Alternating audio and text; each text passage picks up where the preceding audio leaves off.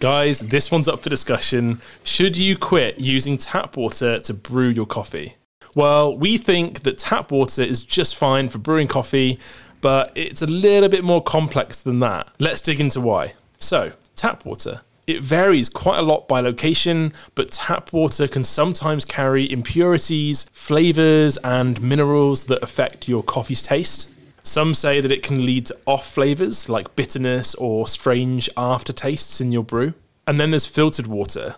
So using a filter can really help remove those impurities. And after all, a large percentage of your final brew is made up of water. So we definitely recommend using filtered water to get the very best out of your specialty coffee.